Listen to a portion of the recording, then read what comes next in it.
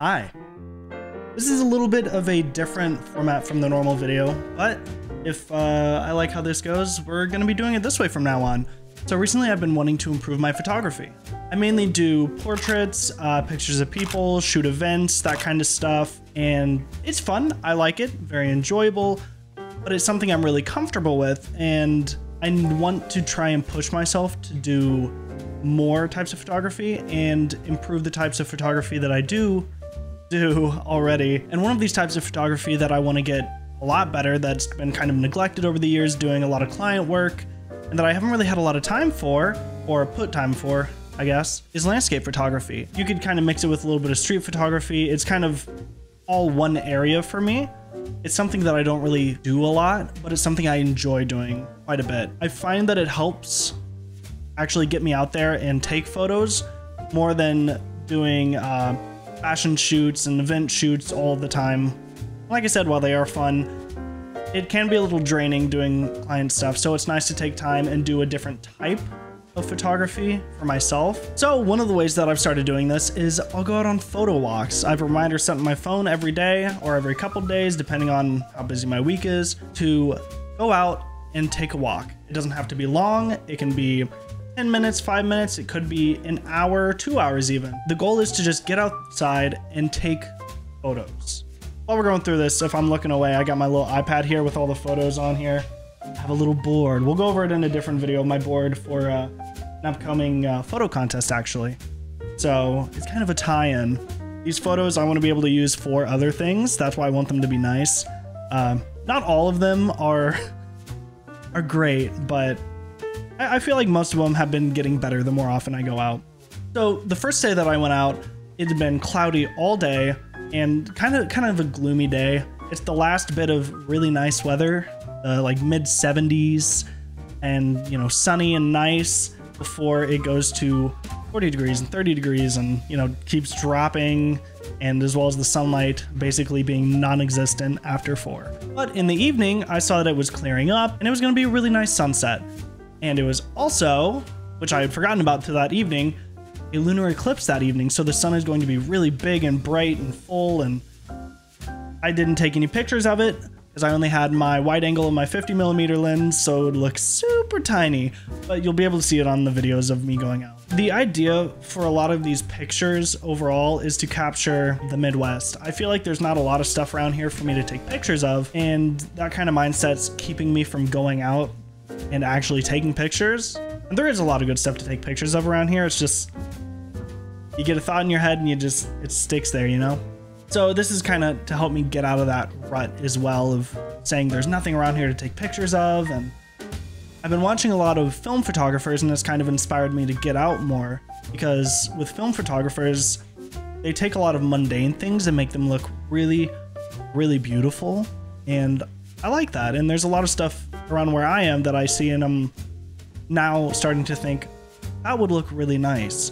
And that's kind of what these outings are going to be about. So I'm walking around and it's starting to be this really pretty light. There's birds flying in the air, the moon's coming up.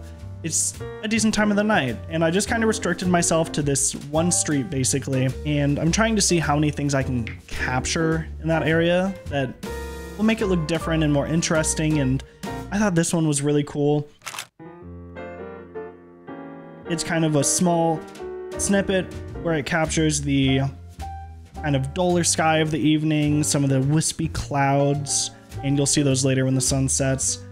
But I just really like the colors and the fact that it just captures this small little corner of the street where not a lot's going on. But there is that one car there, and I think it helps balance out the composition. I don't know, I just I like the way that it's set up. Uh, also taking that same building, we have the same side of the building, but we moved a little bit back and we can get this big uh, grain silo or what used to be a grain silo in there. I feel like it gives a good scale to the picture as well. Height, something far away. You can kind of see the side peeking through on the right hand side. And I don't have a video going over this area specifically, but I thought I'd bring them up. One of the earlier pictures I took, while not my favorite picture, I still like the composition of it, how it's split basically down the middle, and it has these X's basically that even subframe it a little more in a way. I don't know, I, th I think it turned out all right. Kind of moving around, we have one of the sides of the building, and I look at this one as more of a texture shot than anything. It's kind of grabbing the decay of it and the pristine like grass below it because it's all mowed. It's near a, a, new school building basically. These old grain silos that haven't been used in forever. And I just really like the look of it. Uh, if we move across the street a little more, we went to the grain silo and there was another thing with just keeping things kind of symmetrical. The circle above the door, the fence post in the middle of the door.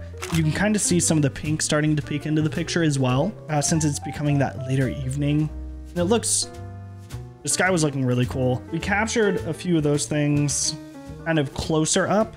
And so I started to kind of walk back, go back towards the area I was originally, see if anything changed over there. And while I'm walking back, there's a lot of birds that started flying around. I wish I could have captured this uh, a little better because there's a specific shot I tried to get the next day where there's this one photographer I saw who takes a composite of hundreds and hundreds of images of birds and shows their flight path basically.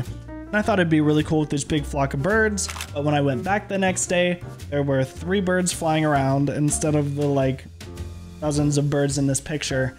So, uh,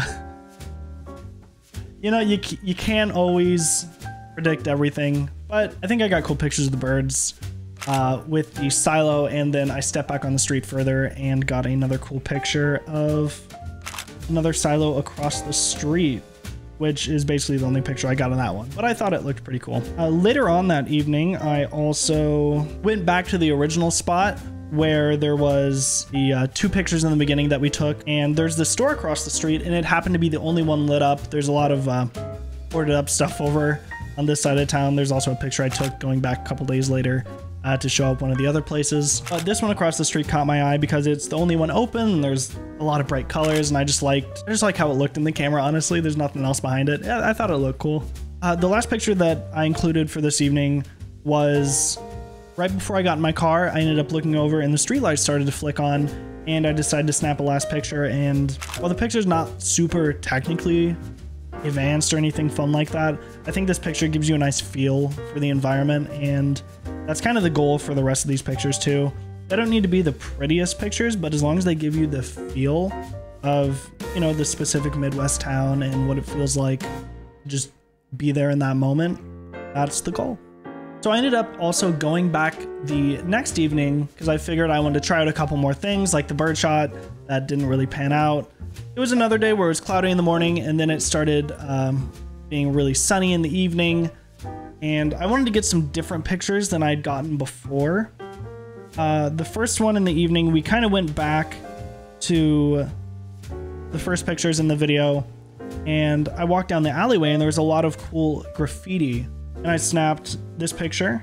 And I didn't take a lot of pictures uh, this evening. A lot of them were later on versus earlier. But one of the ones that I do really like was kind of a passing picture that I didn't put too much thought into. I looked over and there was some graffiti on this big old grain silo where you'd originally have like a truck come in, they'd filled up with grain and leave, and there was a lot of dappled light coming in through a tree. I just thought it looked really cool with the more golden cast on it. I ended up getting there a little later in the evening too, so a lot of the pictures ended up being long exposure since I don't normally take a lot of those types of pictures. Uh, the clouds were moving really fast in the sky. There was really nice colors, kind of purple, magenta. Uh, the place where I stopped to take the only pictures that I really liked out of it, I took like 20 long exposure pictures and I hated most all of them except for these two. But the long exposure, I think it looks nice. The lights look really cool from the cars. And I just think the movement in the clouds is really cool looking. Overall, if we're looking at kind of all these pictures here. There's some extra pictures, but I think they all kind of fit well together for the different types of situations and kind of trying some new types of photography, new ways of looking at things, composing things, taking pictures of things that I normally wouldn't think I would like taking pictures of or would look good in a picture. Yeah, I, I think I'll definitely be going on some more photo walks and uh, doing more of these types of videos. My website's down in the description if you want to see the other type of work that I do, more fashion event stuff. Uh, if you enjoyed, like and subscribe, and I will see you guys next time.